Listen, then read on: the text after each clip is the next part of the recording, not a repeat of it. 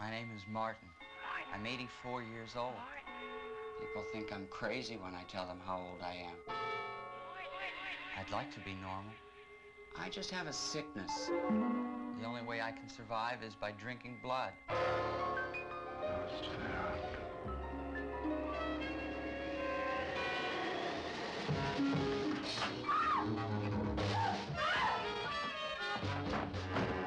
It's not easy living the way I do.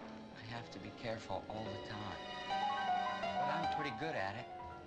I think as I get older, I get better. I haven't been caught yet. Martin, another kind of terror.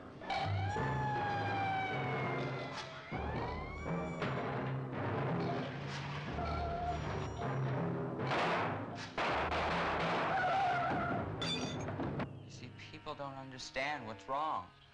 They think that I'm a monster. They think I'm a vampire.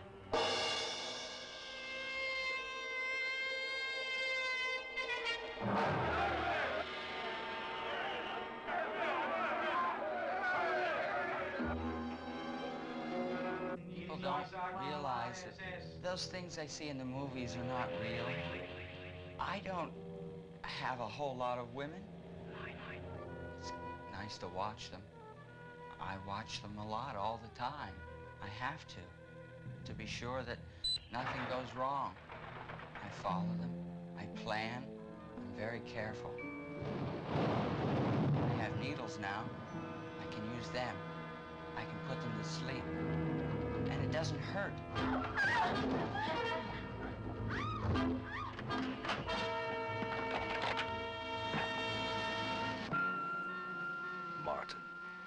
Another kind of terror.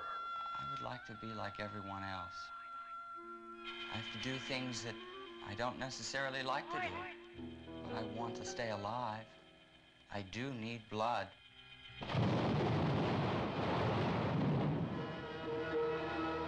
From the director of Night of the Living Dead. Martin, another kind of terror.